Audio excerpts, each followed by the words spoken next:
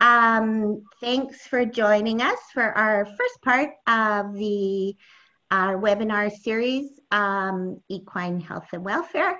Um, thanks to Zoetis for partnering with us and providing us with Dr. Tamara Quaschnick. Um, she will be um, presenting today and um, please feel free to ask questions. Um, you can use the little chat thingy. So you just type your question into the chat box and uh, we have the lovely Jocelyn Adams, our Horse Council BC marketing and coordinator, communications coordinator. Um, so she'll be handling all that for us today. And so we'll get going and I introduce to you Dr. Tamara Quaschnick. Thank you, Sandy. Um, and thanks for, for having me out in BC. I think that's my only regret about our, our current circumstances and having a webinar is that I'm not able to join you in BC. I hear that it's lovely this time of year, but I'm coming to you from East Central Alberta. And like Sandy said, I am with Zoetis. I am the equine lead for the technical services team for Zoetis Canada, but I'm also a rancher and a horse owner myself. So I can fully appreciate the challenges of horse ownership and hope to provide you with some very practical information here today. Uh, just while I'm delivering the, the rest of the content and, and Jocelyn puts the screen up, I am uh, just going to jump off camera here. Um, but we'll be monitoring for questions and uh, Jocelyn will and Sandy will, will let me know as you guys have them. We can address them as they come up or we'll have some natural breaks where we can circle back and uh, ask for any other questions.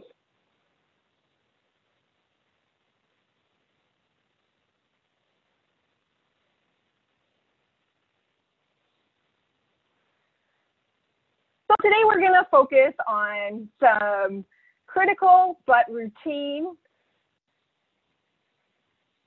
preventative health care recommendations for your horses. So I'm going to share with you what I think you need to know to make informed decisions about your horse's care and help decide what is essential in a year like this, like I said, from a very practical perspective. So I could do my, my best Gru impersonation here. So when someone asks why your horse looks nice, but you look homeless, in terms of money, we have no money. So it's true, as horse owners we'll put so many hard-earned dollars into our horse's care and often neglect our own. I can honestly say that my horse's teeth receive professional care more often than mine do. But all jokes aside, this year is tough all over, and the horse industry hasn't been left unscathed. So if we look at the next slide, uh, Equestrian Canada did some surveys earlier this spring, and one of the figures I want to draw your attention to is this $163.83 down in the bottom right-hand corner of the screen. That's the cost per horse per month on average for feed, forage, and bedding only. If you factor in yardage, boarding, and care costs, that number is closer to $350 per month per horse on average. So far and away, the biggest recurring cost of horse ownership is feed.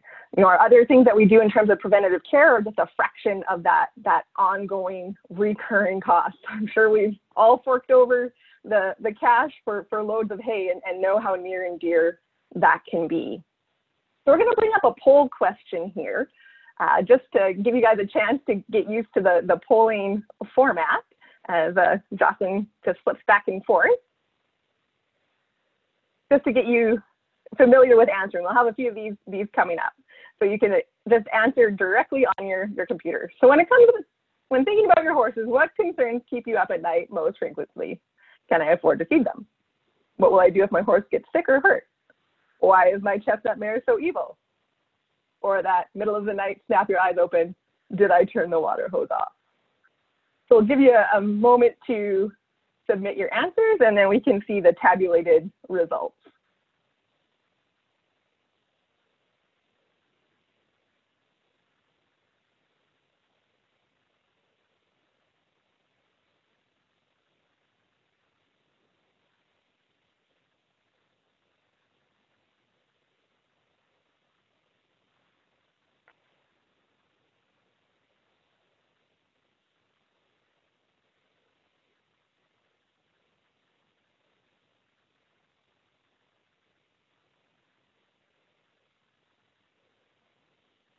We might, uh, oh, there we go.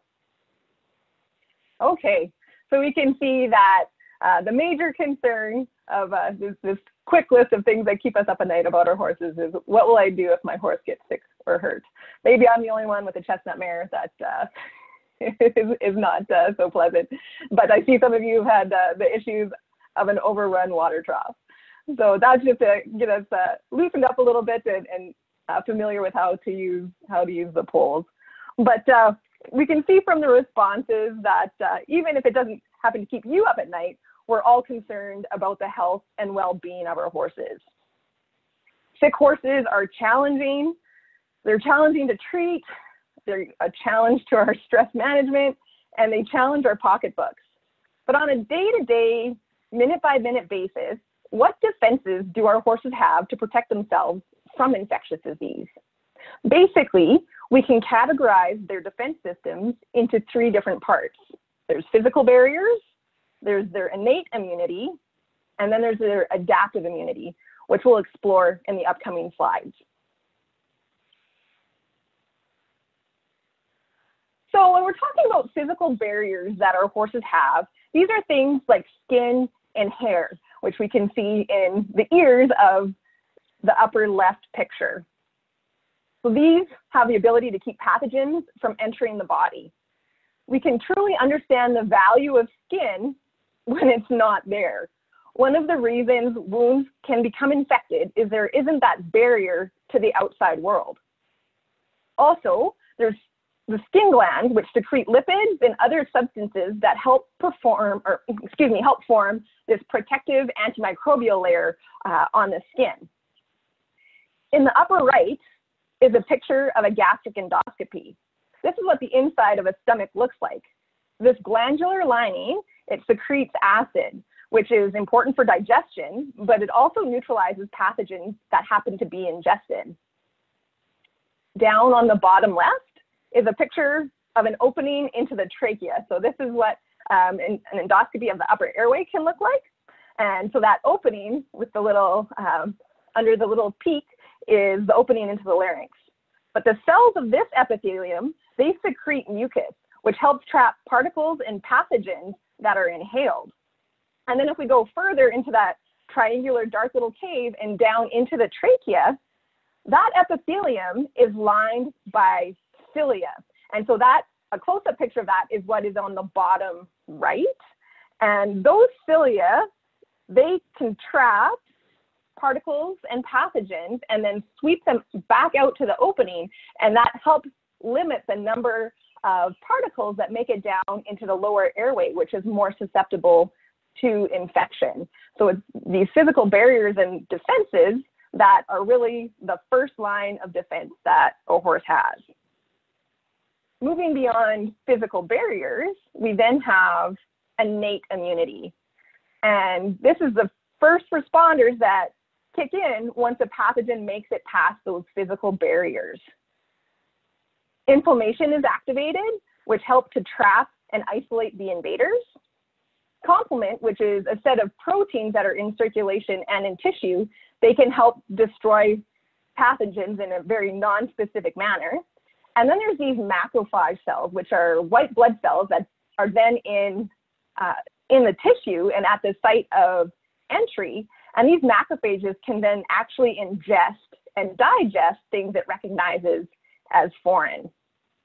So if you think of the innate immune system like an on-site security guard, you can see that they would be effective at controlling low-level threats, but can be overwhelmed by a bigger challenge. These security guards only have so much in their arsenal, and they don't often have advanced tactical training for dealing with more advanced pathogens.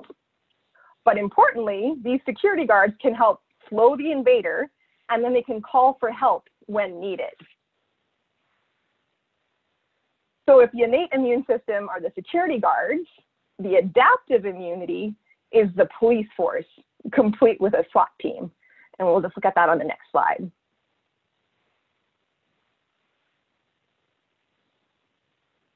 So much like a police response, these cells aren't on site, but get called in when a threat is detected. One of the important characteristics here is that a pathogen needs to have been identified and the cells that are responding are trained for that response, much like a tactical unit would be. This is the part of the immune system that builds up pathogen-specific antibodies, which are made by B cells, and then also develops more cell-mediated defenses like cytotoxic T cells, which actually can recognize and, and kill invader pathogens. So it is this branch that we work with to stimulate with vaccines. So vaccines can be thought of like training exercises that allow the tactical team to prepare and be on standby. So if we think in, in a global sense of the whole horse, vaccines aren't the only thing that help keep your horse from getting sick. There are many different things that can help your horse fight off disease. Appropriate nutrition is, is key. All the physical barriers are constantly regenerating themselves and require proteins, minerals, and vitamins to make the most effective barriers. When we think about exercise, either too much or too little can impact the immune response. Either sedentary and obese horses on one end of the spectrum, and then overworked horses are more susceptible to disease. This next one on the list, socialization, you know, this may fly in the face of, of current social distancing recommendations, but socialization is an important aspect of preventing disease in horses. And this is because horses are prey animals and designed to be in groups. And horses that are living in isolation are more stressed. And so they require social contact to minimize that stress. We do know that stress is very immunosuppressive, so things that we can do to minimize stress will help prevent them from contracting infectious disease. Another important factor on our list is parasite management. Highly parasitized horses are more likely to develop other infections, and this could be due to the fact that those internal parasites are robbing the horse of critical nutrition, or these parasites also secrete compounds that help modulate the immune response. And so the presence of parasites can be immunosuppressive because of the direct actions of compounds that those worms are secreting. If we also think of external parasites like flies and mosquitoes as, uh, as vectors of, of disease and something that needs to be, that can be a key um, intervention strategy uh, in minimizing our horses' exposure to disease, that's just another, another thing to consider with our parasite management. If we can keep uh, mosquitoes from landing on our horses, we could prevent a lot of different diseases. And if someone has a 100% surefire way of, of doing that, please, please let me know. And then biosecurity. So this is more in line with our, our current physical and social distancing recommendations. And so this is limiting the contact with other horses and animals outside your own herd. This is a very important control step and also uh, represents a certain degree of, of risk for horses that are frequently in contact with new horses. And then finally on our list is, is vaccination. So this is a strategy to really enhance that adaptive immunity of your horse. So it's not just vaccines that are, that are critical in keeping your horses from getting sick, but it is something that uh, we can do to enhance their immune response in a very meaningful way. So then, what should we vaccinate our horses for? Broadly, diseases are classified into core and risk-based diseases, and we'll see a list of them on the next slide.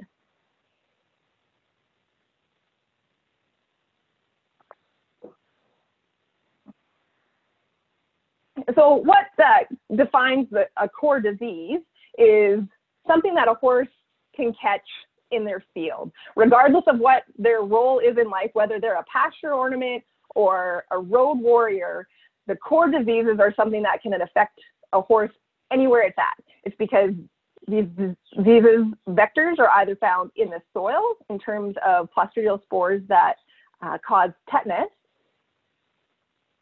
or for things like um, mosquitoes that transmit West Nile and, and sleeping sickness. This is in contrast to the risk-based diseases, which a horse's um, exposure to really depend on what they what they do for a living or the um, contact that they have with other horses or certain circumstances. So we dig down a little further on these core diseases. Any of the core diseases can be fatal. And like we had talked, all horses can be exposed to it, the infected agents, whether they're just in their stall or pasture. The disease really comes to them. And another key fact about these core equine diseases that we vaccinate against is that few, if any, treatment options exist. So this makes prevention very critical when our treatment options don't often lead to a successful outcome. So if we take a look at the mortality rate for these diseases on, on the next slide, we can see some pretty staggering numbers.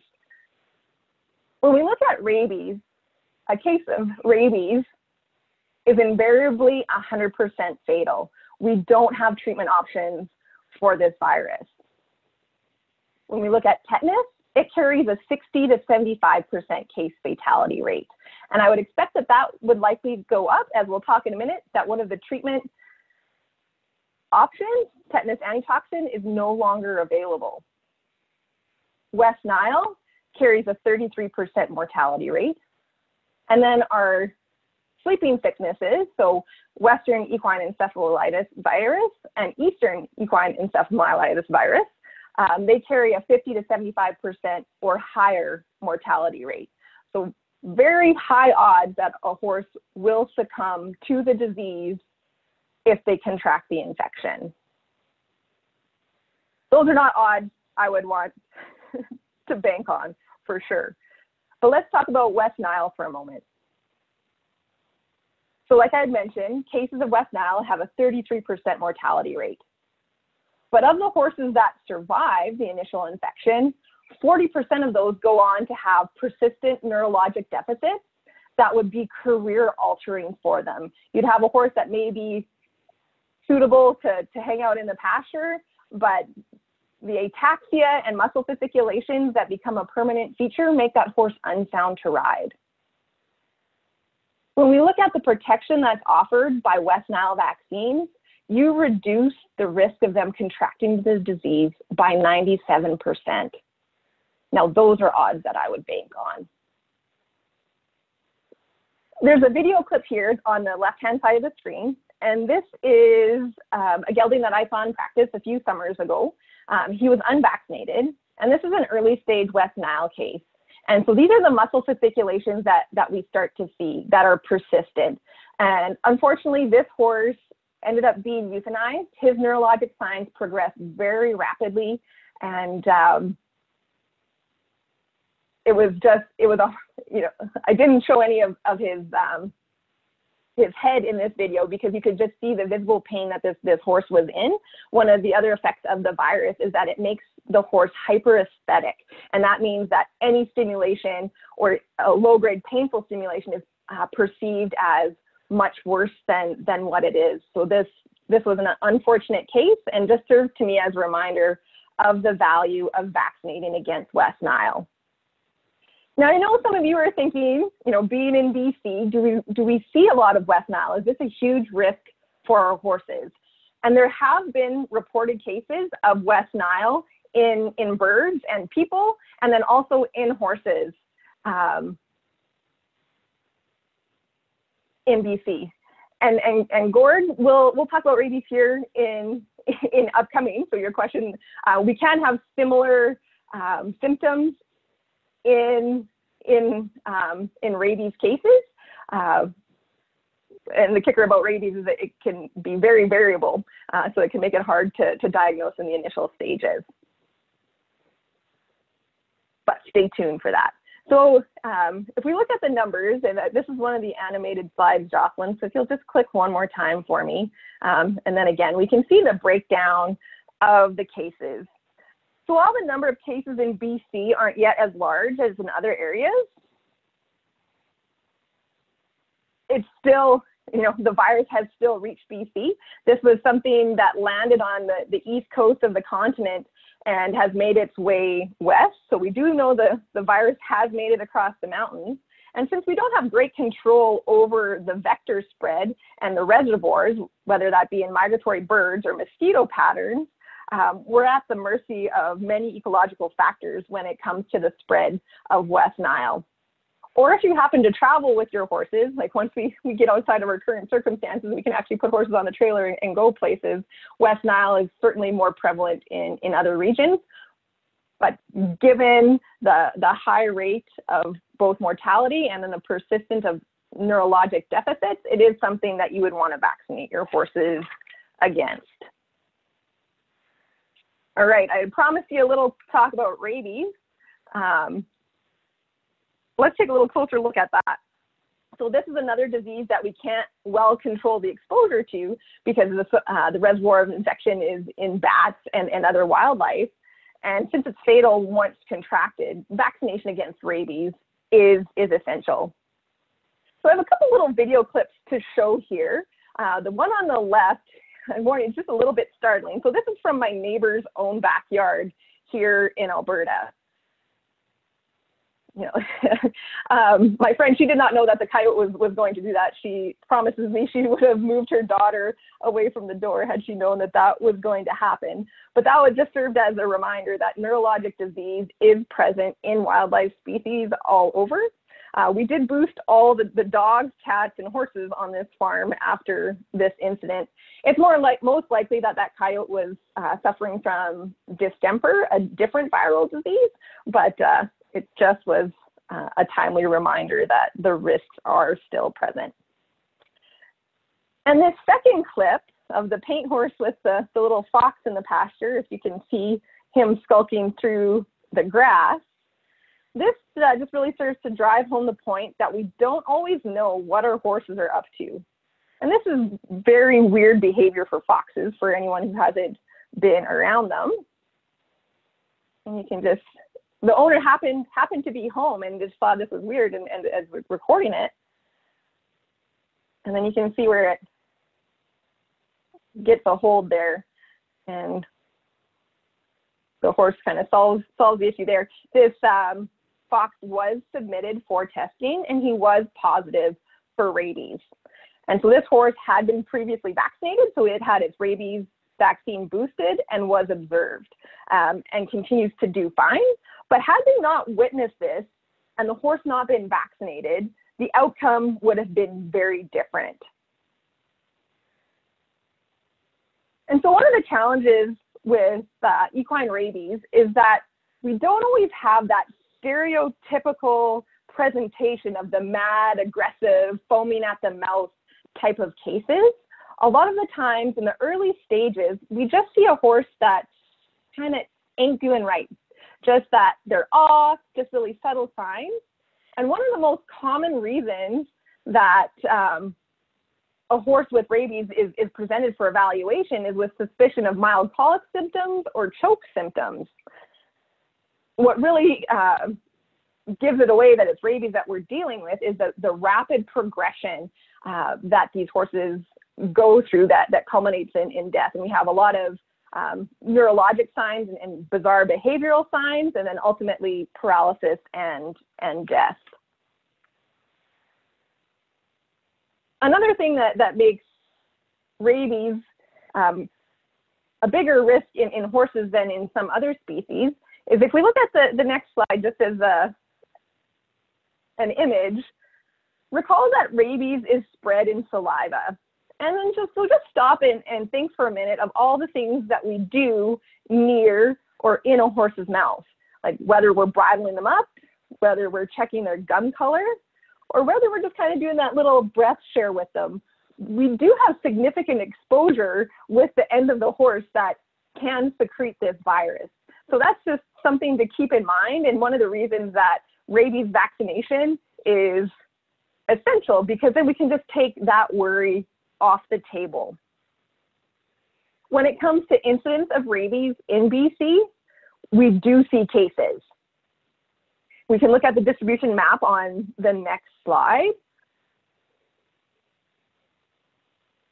So across Canada in 2019, there was 116 positive cases of rabies. Eight of them were in BC, and one of them, unfortunately, was a human case. Rabies in people carries the same fatality rate as it does in, in other species, and uh, so that was just an unfortunate tragedy. Uh, I do believe that that was a bat vectored case, um, and the individual was was bitten by an infected bat. But rabies is certainly something that is present in BC, and with it carrying a 100% fatality rate, vaccination against rabies is is a critical preventative step. We can take a look at what rabies incidence looks like in the United States, and we can see, um, you know, a distribution from east to west. And it should really grab the attention of anyone who travels south with their horses or their dogs, like just those uh, number of, of cases that we see in the in the southern states. Um, so that should be another reason for vaccination against rabies is if you travel south with your horses. The last core disease that I'm going to touch on is tetanus. So unlike the other core diseases, it's not spread by insects or rodents, but rather it's in the soil or in the GI tract of animals. And so once activated and in an anaerobic environment, the bacteria produces a potent neurotoxin, which ultimately causes paralysis. And so this foal is exhibiting some of the, the, the classic signs of, of tetanus. It's got this rigid sawhorse stance. Um, and you can see that its, its tail is, is elevated um, and really in contraction or extension, pardon me. And, and that was a persistent feature. That just wasn't, you know, him having a bowel movement and just happening to catch his tail. It was really like a pump handle kind of tail. Um, you can't see it well in the picture, but his ears are really pricked up. And we can start to see some elevation of his, his third eyelid on, on closer pictures. And so this is just really characterized by uh, muscle rigidity because that neurotoxin is, is acting on the nervous synapses. Uh, ultimately, these cases do lead to death because of uh, respiratory muscle paralysis. So they essentially asphyxiate in, in many of these cases if they're not euthanized prior to that happening. Like I had mentioned earlier, um, treatment is, is challenging because of the potency of the neurotoxin. And one of the things that we rely on is tetanus antitoxin. Unfortunately, that product is no longer widely available. So we really have to lean on preventative measures for reducing the incidence of tetanus cases in our horses. So we're going to pop over to a poll question now. And we're just going to, you know, have some, some skill testing knowledge on, on tetanus susceptibility. So true or false? Since I only get a tetanus shot every 10 years, my horse can just be on the same schedule as I am.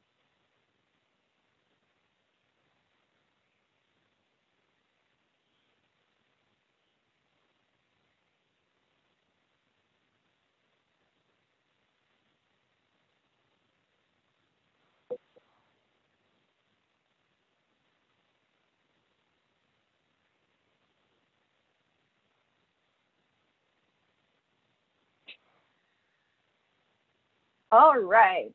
So 100% of you said false. Nice work. That indeed is a false statement. Horses are much more susceptible to tetanus than we are. And then on the other end of the spectrum, cats and dogs, they are way less susceptible than, than humans and horses are. Um, we don't vaccinate our companion animals for tetanus because of their, their low susceptibility maybe it's a plug for being a strict carnivore. The more meat you eat, you're less likely to contract tetanus.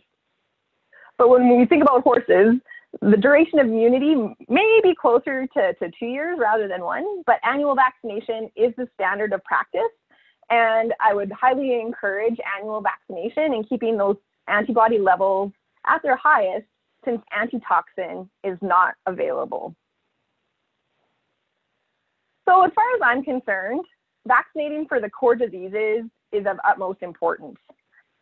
The bigger discussion this year, though, is what about risk-based diseases like influenza and EHV, also called rhino, on a year where, just like me, my horses are staying home and the trailer's not going down the road. We'll take a look at them a little bit closer so you guys get a bit more information on which to base your decisions.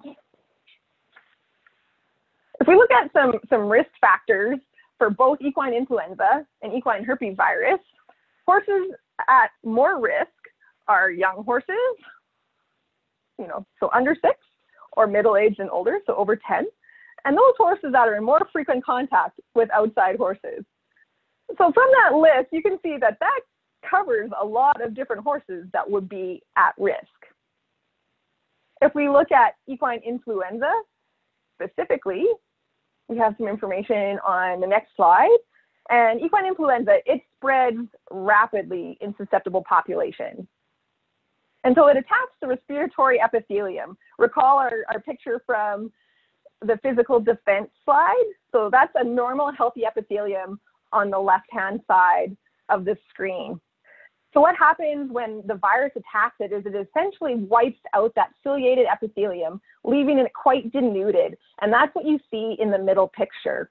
And this really sets up an environment where bacteria that would normally would have been swept out by those cilia get to set up shop and create an infection.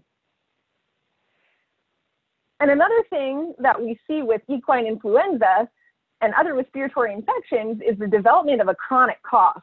And maybe you've experienced this yourself after a respiratory infection is that you're feeling better and you're over the initial stages of disease, but you have this cough that persists for weeks and weeks. And then if you exert yourself or you start exercising, that really exacerbates it. And that's because during these early stages, that damaged epithelium takes time to heal and it's also very fragile for an extended period of time. So if you have a lot of exertion, um, you can damage that, that healing epithelium and really um, flame up some of that inflammation that can lead to a chronic and, and debilitating cough. So that's why the recovery from equine influenza can be longer, just because that epithelium needs time to heal. And then also it can be um, complicated by secondary bacterial infections. But really, we're looking at at least three weeks of recovery time.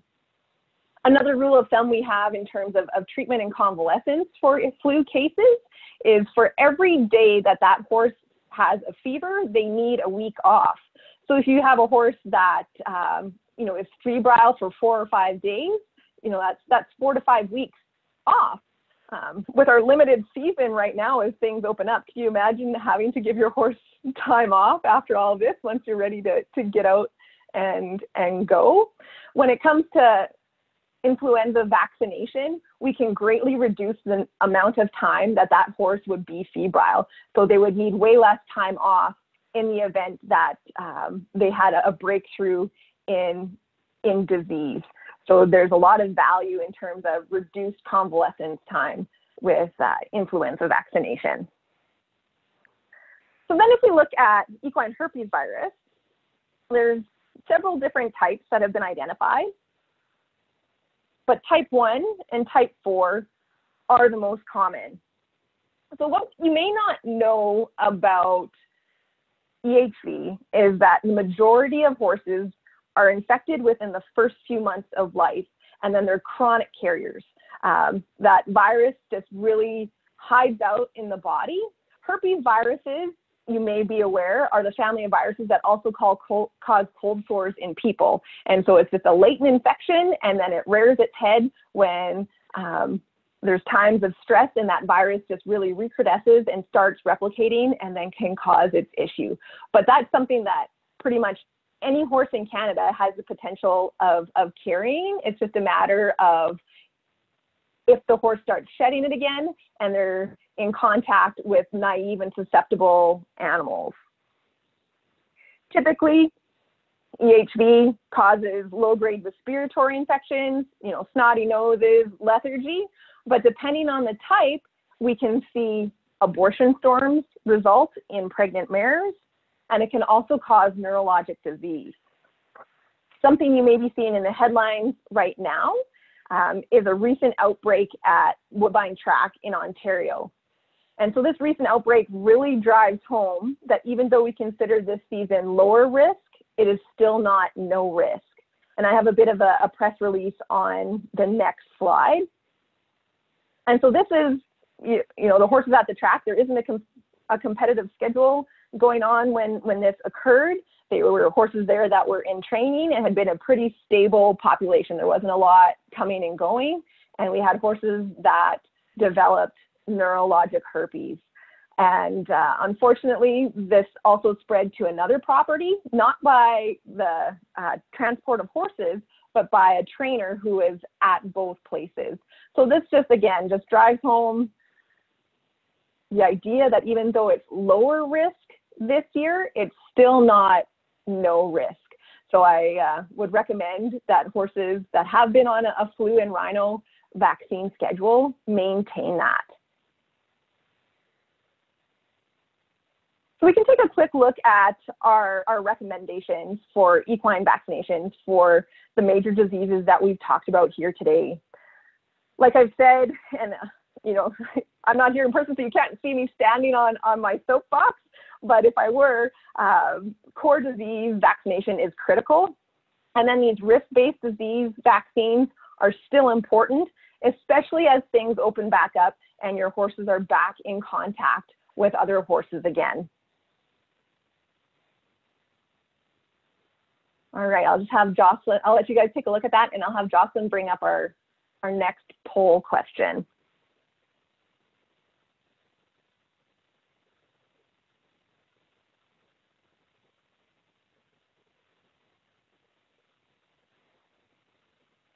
All right, this is, I'd just like you to know that these uh, results are anonymous. So Gord isn't going to track you down if you uh, say that you haven't vaccinated your horse. But uh, We'd like to know how often do you vaccinate your horses? Every year like clockwork? Only when I know I'll be taking them somewhere? Typically every year, but haven't this year. And then uh, our basically no vaccines was a Bush was president the last time I vaccinated my horse. An alternative option that uh, didn't fit in with our option list was uh, I bought the vaccines, but they're still sitting in my fridge. Raise your hand if that has happened to you.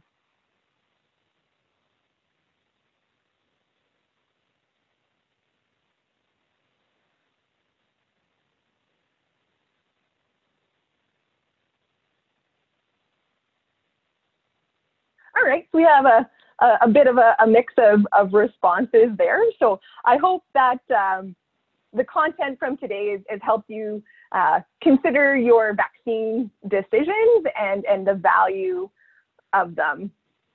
But uh, for those of you who are, you know, I see that uh, typically every year, but having this year was not as selected. But if, uh, you know, you're thinking of skipping this year, here's one more thing to consider.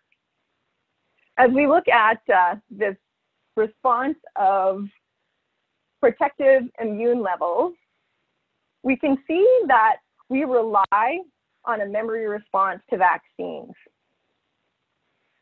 So remember those tactical training exercises? They need to be performed frequently enough that the immune system has those cells ready to respond. If we wait too long in between our vaccine doses, we don't have that effective memory response. Uh, by and large, equine vaccines require a two-dose initial series. So we give them, like the first time that they've had a vaccine, we give them their first dose, and then in three weeks' time, we follow up with a second dose. And that just really elicits um, the cells in that adaptive immune system to be on standby and to really uh, strongly respond when those horses see that pathogen again um, in terms of natural exposure. So if we wait too long between the doses, we're back at uh, the stage where we need to repeat that initial series so that we can have that strong memory response. And so if you're thinking of skipping this year, when you go to resume next year, for best levels, you're going to have to repeat that initial series. And so there isn't a lot of value to be had if at, you know, over the next two years, you need to give two doses. It's best to give one now and one next year and keep them on that regular schedule so you don't have that lapse in protection and you still have that strong memory response when they're revaccinated. So by skipping this year, you're not really going to save and you're just going to put your horse at risk. And then one final thing on, on vaccines that I would like to discuss is our immune, or excuse me, our immunization support guarantee here at Zoetis. Now, we're so confident in the value, safety, and efficacy of our vaccines that they're backed by the immune support guarantee. So you can think of this basically as vaccine insurance. If your horse is properly vaccinated with our innovator products and get sick with what looks like something they were supposed to be protected from by the vaccine, your horse is qualified for up to $10,000 in diagnostic and treatment cost coverage. So we just want you to know that we stand behind our products and if there's any breaks in coverage that we will help support you in conjunction with your veterinarian in determining what is going on and treating them for a successful resolution.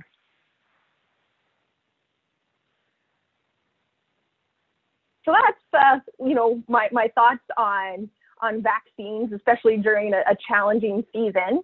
Um, if there's any questions on vaccines, I can take them now, or we can shift gears into our dental care discussion. Um, so in practice, I love doing equine dentistry. Um, I spent, you know, probably at least a third of my time working in, in horses' mouths. Uh, there's just so many things to see and do, and just so many instances where you had um, a dramatic impact on the quality of life for these patients. Um, I also like this.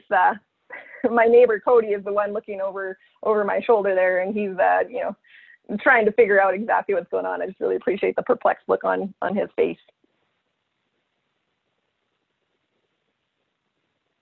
So our question from Dale Clark is uh, when you take your horse in for vaccinations, do they automatically do all of the different shots? Um, I think that would be, I wouldn't say automatically, like that would be something that they would discuss with you. Um, and so it's, it's good to have, have that discussion with your veterinarian as to what your horse is doing and the different risks that, that they may face. So um, it's likely if, you know, if they were to do this, something automatically, it's probably at least a basic, uh, what we would call three-way. So that's the Eastern, Western, and tetanus. Um, and in recent years, we've been able to add on these core diseases um, so that we have our Core EQ Innovator, which does cover all those core antigens in one shot. So that would be rabies, West Nile, the sleeping sickness, and, and the tetanus. But I wouldn't just assume that uh, your veterinarian is vaccinating them against all these things. It's definitely uh, worth having that discussion for them so you fully understand uh, the coverage that your horse has. Thanks, Dale. All right, so let's let's do shift gears onto another common preventative health measure, um, our annual dental care. Um, you know, we have several benefits to routine dental care, and it can have a huge impact on your horse's well-being. Dental disease is a significant source of discomfort and pain in our horses. So by providing routine care, we can really maintain our horse's comfort by maintaining effective anatomy, we can really improve feed efficiency for our horses. Doing this routinely rather than waiting for clinical signs of um, abnormal chewing and weight loss or drooling to develop really allows us to have um, prompt recognition and treatment of, um, treatment of conditions in early stages so that we're not um, behind the eight ball and, and leading to just salvage type situations when we're looking at just having to extract the tooth and then dealing with all the ramifications that that, that involves. So this is a situation where uh, an ounce of prevention is, is worth a pound of cure for sure. And then the other benefits of routine dental care is that we may have improved performance and then also increase longevity. If we can increase the, the comfort of our, our horses and make them pain-free, they're just gonna be able to perform that much better. They don't have that distraction and they don't have that, that resistance to, to our cues, um, whether it be from uh, through, through the bit in our hands or even just the head stall on the outside of the face and, and the pressure that that can can elicit.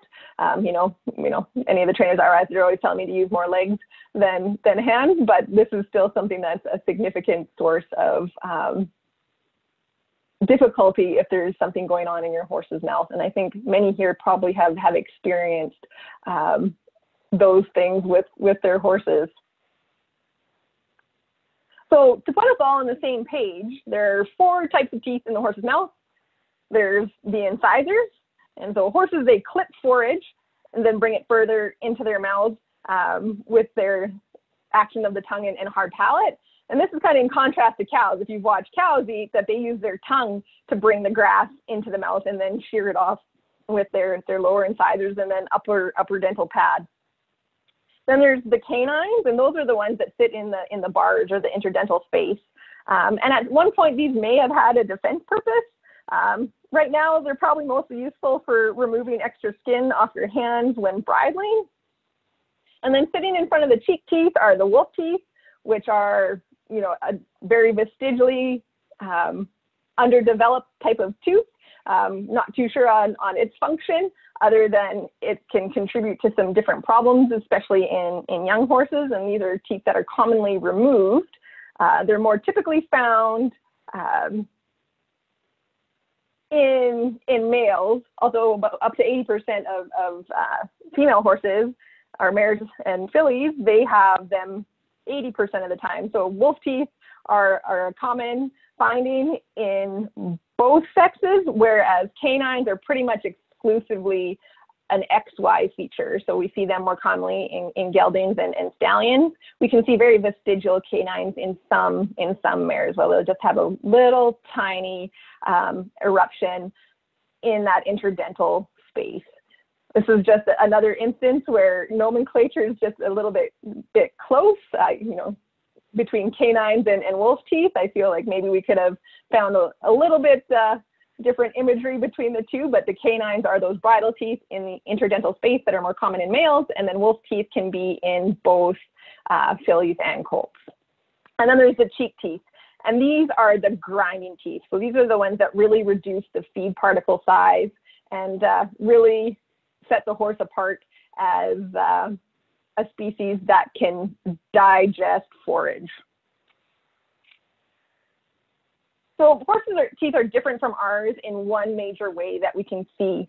Um, they continually erupt as they're worn down, and so they have a huge amount of reserve crown.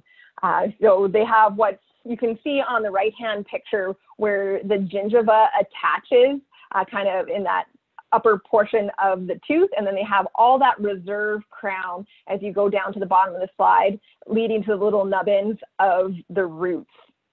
And so a horse's diet is abrasive and they'll literally grind down their teeth as they go through those thousands of chewing cycles per day. When we look at uh, kind of a slice of the anatomy, that infundibulum is an infolding of enamel.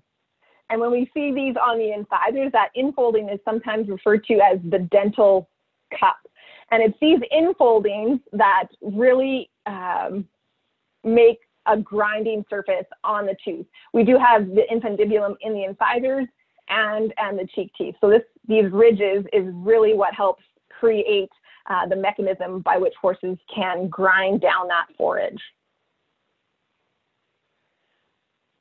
So the next slide is a picture of a young horse mouth kind of close up.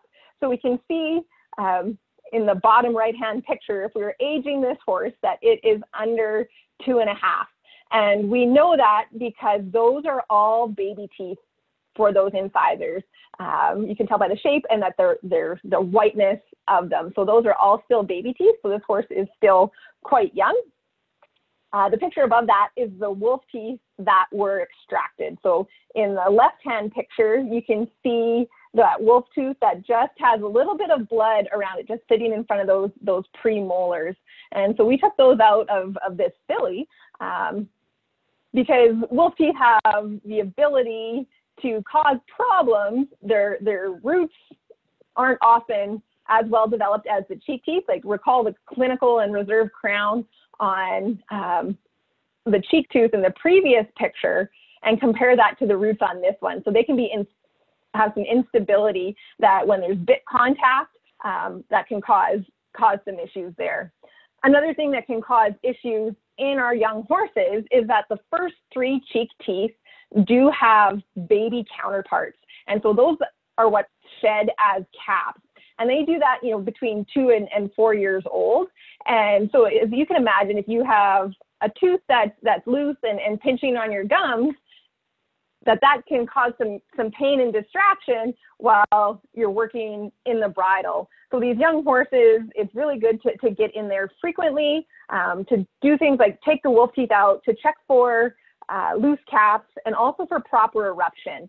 If uh, we have retained caps and those adult teeth that are coming in behind it um, are delayed, we can really set ourselves up for some lifelong malocclusion. So it's really, again, a situation where an ounce of prevention is worth a pound of cure. And if we can correct them in the early stages of a malocclusion rather than waiting for a wave mouth when they're nine or 10 years old, um, we're further ahead to correct that now.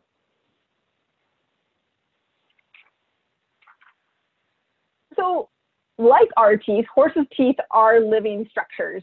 They have, um, have pulp cavities with blood vessels and nerves, just like we do. Um, so in, in the picture on the left, that really frond-like structure, that's the sensitive structures out of, out of a tooth. So they do extend almost down to the occlusal surface. And this is important to keep in mind when dental treatments are being done. If we're too aggressive in, in our reductions and our interventions, we can open up that pulp cavity. And if you've ever had an exposed um, pulp cavity in your own tooth, you um, can really sympathize with what's going on because they're, they're highly sensitive. And then that also is an avenue for that tooth to become infected and we can get those tooth root abscesses. And so this is something that's an important factor and we want to be aware of uh, because this and the position of these pulp horns often limits what we're able to do in terms of correcting a malocclusion and why we have to do them more gradually. So these pulp horns are always in the progress of, of, re, of regressing as that tooth wears down um, naturally, right? Like this is part of the chewing, chewing cycle, that pulp horn gets stimulation through vibration and pressure to regress. And those pulp horns are capped by dentin. And so that secondary dentin that you can see on the chewing surface or even on the incisors, so this is what becomes the dental stars that we see when we're looking um, to age an older horse. And as horses age, we can reach the portion of reserve crown that is narrower and more curved, which we can appreciate in this x-ray. You see the blacker slices in between the bright white teeth roots and reserve crowns. As those spaces reach the mouth, there's spaces in between the teeth that are then primed for feed to pack in. And we know that feed packing, so we get, you know, um, hay and grain packed in around that tooth, is the number one cause of periodontal disease in horses. Um, I have some pictures on the next slide of, of feed packing. And so it's, it's this that really sets off an avalanche of, of issues. So when that feed is packed in there, it allows for bacterial replication and inflammation, and then this can escalate to permanent damage to the tooth, and this can also be quite painful. And so one of the most important parts in preventing further development of periodontal disease is simply removing that feed packing. It's not a fancy or super um, complex treatment. It's just a matter of getting in that horse's mouth um, with a speculum and then sedated, and we can really clean out those um, that feed packing. And then once we have that feed packing removed, we then have different treatments we can do to help keep the feed from packing back in. And this can range from kind of uh, dental amalgam type substances that we'll put around that tooth or depending on that space and how it's constructed, sometimes it's a bit of a wedge or a valve. So sometimes we have to burr in between those teeth to make it easier for that feed to fall out. If you have really a wedge-shaped situation in between the teeth, that uh, feed can become really trapped and it's hard for it just to, just to fall out on its own. So if we can correct periodontal disease early and really intervene simply by just removing that feed packing, we can prevent the downward spiral that can end up in the loss of a tooth. And so the slide that's up right now, this is an end stage mouse in an aged horse. And you can see a gap on um, kind of mid arcade where that pink is, where there's a gap in between the teeth. And then also, if you look at the, the chewing surface of that tooth, it's quite smooth. We're really down to just those little root nubbins at that point in time. If you look a little bit further back in the mouth, um, you can see the, the darker spots on, on that uh, third tooth that, that remains. And um, that tooth is also not long for, for this mouth. But you can see why an older horse has trouble with feed efficiency if they don't have those infundibular ridges to grind the feed and reduce the particle size down. Um, I'm, I do not know if you've ever thought about a chewing cycle in, in a horse, but really a bite of, of hay only has one pass at, at each tooth as it makes its way to the back of the mouth. You can see those ridges on, up on the roof of the mouth on the hard palate every time they move, there is a coordination between their tongue movements and then the directionality of those hard palate ridges that really forces that food bolus backwards with each chewing motion that, that they make. So really across the surface of each tooth, it only has one, one kick at, at each tooth. So if we have a smooth surface, we're not effectively digesting or reducing that particle size there's uh, we know that the particle size once it leaves the mouth isn't greatly reduced. So what the bacteria in the hindgut have to work on and digest on is greatly determined by what happens in the mouth. So one of the things that we see when a horse has pain in their mouth is they, they alter their, their chewing mechanics and they don't have as broad of an excursion. And so those stems of hay don't get ground across the complete surface of the tooth. And so we don't get that effective reduction of, of particle size. And so that's why routine dental care and keeping them comfortable can lead to increases in feed efficiency because they're more effectively chewing their food.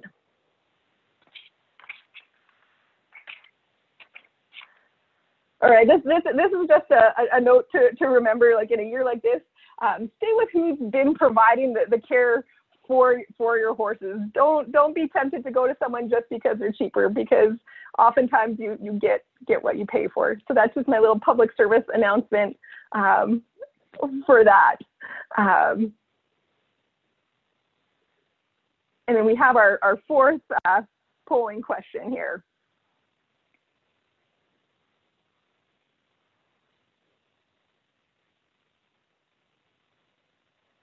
So true or false? Floating is a procedure where sharp ridges are taking off the chewing surface of teeth.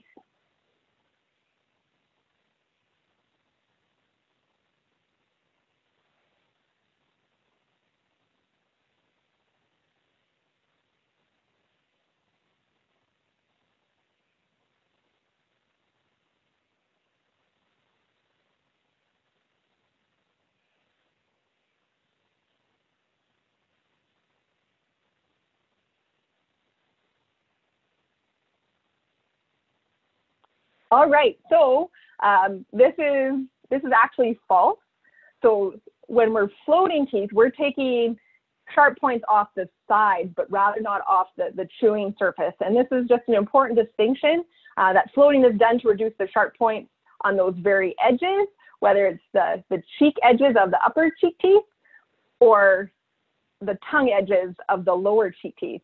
Um, we need those, those rough surfaces on the actual chewing surface to effectively grind the feed. So that's just something, um, you know, as a, as a litmus test for who's ever providing your dental care. If they're saying that they're um, smoothing out the, um, the chewing surface or the occlusal table, that's that's uh, that's something that's a bit of a red flag. I've seen this done um, by people who did not know any better, and they thought you know they were smoothing out this this horse's mouth, and this horse could could effectively not chew. They had no way to to grind down their their feed as they needed to be maintained on some very soft feed for several years while their teeth continued to erupt and get back to a, a more normal state.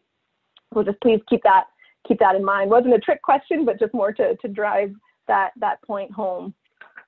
And then we talked about um, how that one pass per tooth um, in a chewing cycle is what really dictates feed efficiency. So we float the sharp points on the sides of the teeth just to really make the, the mouth more comfortable so they can chew um, more comfortably. So again, just to circle back about the benefits of routine dental care, um, yeah, that we can maintain comfort, we can improve feed efficiency, uh, prompt recognition and treatment of conditions in the early stages leads to better outcome. You know, it can often be as simple as just getting that feed packing out of there and changing the anatomy mildly so that it can't pack. And then we may improve performance and increase longevity in our equine partners. So just a final thought um, in you know the, the horses that we shouldn't skip would be the two to five year olds. There's lots of changes as those baby teeth are shedding, and we can really correct a lot of malocclusions more easily at that stage. If you have a horse that has been diagnosed with a malocclusion, and um, because those teeth are continually erupting, we need to continually correct. And because of uh, the presence of, of pulp horns, we can only correct so much. So it's better to keep those horses on an annual schedule. And then our geriatric horses, I wouldn't skip on, on them this year. Um, you know, just removing that feed packing and looking for loose teeth and really keeping them pain free is, um, is something that's critical to do frequently in these horses because things can just change so frequently in those old horses' mouths. All right, so we covered a lot of ground in the span of, of an hour. Um, if there's any other questions, I'm, I'm happy to, to take them now. Or we, you know, if you reach out to um, the team at uh, the Horse Council uh, with any follow-up questions, we can address them in our, our next webinar. So kind of some to be continued moments. So thank you for, for giving me your ears today and the privilege of your time.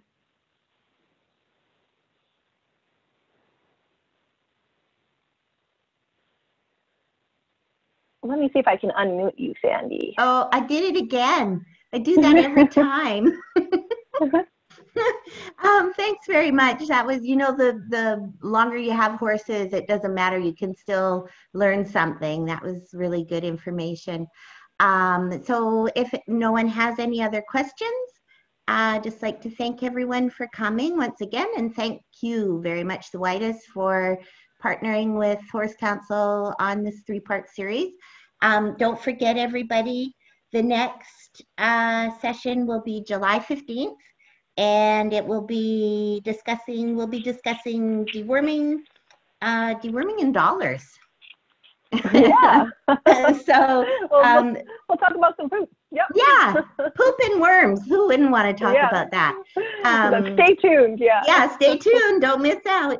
So, and I also would like to let everyone know that um, has provided us with some door prizes.